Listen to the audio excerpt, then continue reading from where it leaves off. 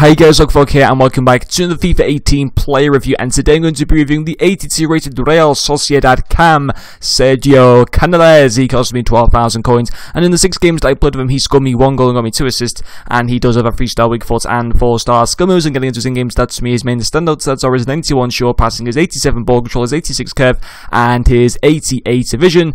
And getting off into the review for this card, he has some very nice base card stats of 83 dribbling and 85 passing. Even 77 shooting on his base card is reasonable. However, stats such as 55 physical and 67 pace look very concerning. But uh, getting off though into the pros for this Canales card for me, his first pro was his passing.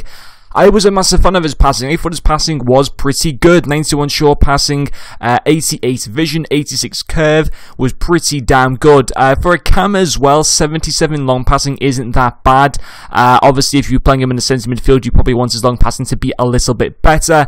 But uh, for a cam, you know, long passing isn't a necessity. It's mainly that short passing, and he definitely does deliver in that 91 short passing. Even his through balls are very good as well. Even 82 free kick accuracy is pretty good. He could be, uh, you know, a free kick taker option for you guys. Uh, and some other stats to kind of point out in the shooting area. Uh, although shooting wasn't a pro for me, 81 finishing isn't that bad, as well as 82 long shots. So some decent shooting stats there. It's just his volleys and his shot power which just let him down, to be honest. And you could definitely feel his lack of um, on shot power on some occasions, unfortunately. So that was a bit disappointing. I wasn't a fan of his finesses. I had like one finesse shot with him, and there was just no power, no attempt to try and curl the ball, despite him having 86 curve which was a bit weird. But like his curves from crosses and like his curved type of passes were pretty good. But uh, that kind of ends his pros, unfortunately, for you guys. Getting up into the cons. His first con for me is his pace. Now, obviously, pace isn't the most important thing for a cam. However, 69 acceleration and 65 sprint speed is once again very, very concerning. If you put on the Hunter, it will resolve that issue 100%. But um, you know, you could definitely feel in a counter-attack situation, which I like to try and play. I like to be that Liverpool type of team that play on the counter-attack. You know, got got Dembele, which is like Salah. I've got Omar which is I suppose like Coutinho, and then Del Piero, which I suppose is kind of like Firmino, I guess.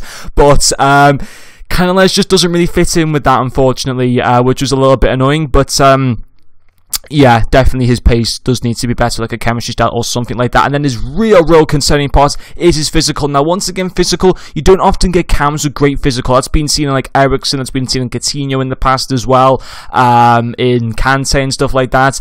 But uh, 42 stamina the, the only other card that I can ever remember having that, and it's obviously been fixed for this year, is Alessandro Nesta, who used to have like 40 stamina. I hope Canales gets fixed. I mean, because you get to the 70th minute and he's practically useless. He genuinely is. You will struggle to get a full game out of this guy um, because his stamina just gets destroyed towards the end. Also, 61 strength and 60 aggression yeah, that's fine really for a cam to be quite honest. But 33 jumping as well isn't very good. He's not going to be winning really any aerial balls for you guys.